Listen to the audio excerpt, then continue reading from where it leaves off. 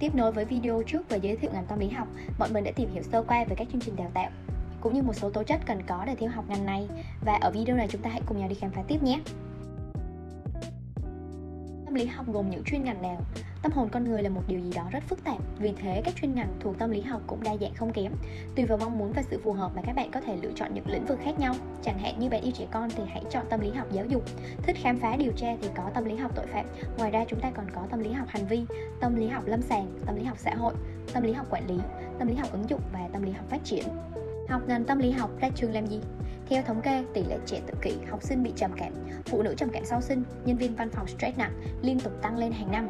Vì thế, ngành tâm lý học ở Việt Nam đang trên đà phát triển. Các trung tâm tư vấn tâm lý, dịch vụ điều trị tâm lý ngày càng nhiều, mở ra vô vàn cơ hội cho các bạn trẻ. Nhiều người lầm tưởng rằng tốt nghiệp ngành tâm lý học chỉ có thể làm tư vấn tâm lý hoặc điều trị tâm lý, nhưng thật ra tấm bằng tâm lý học còn mở ra nhiều cơ hội hơn thế, bất kể bạn học chuyên về lĩnh vực gì. Một số vị trí phổ biến cho sinh viên tốt nghiệp ngành tâm lý học bao gồm tham vấn tâm lý trường học rất nhiều trường trên thế giới và ngay cả ở Việt Nam đã đầu tư bộ phận tư vấn tâm lý học đường dành cho các bạn học sinh sinh viên để giúp cho các bạn có một tinh thần tốt nhất và thoải mái nhất trong một năm học mới vị trí điều trị tâm lý vị trí nghiên cứu giảng dạy tư vấn tuyển sinh hoặc tuyển dụng tại các bộ phận nhân sự.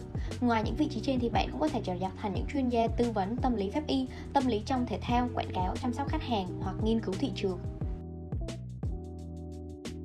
Sau đây là một số trường đại học có đào tạo ngành tâm lý học tại khu vực phía Nam.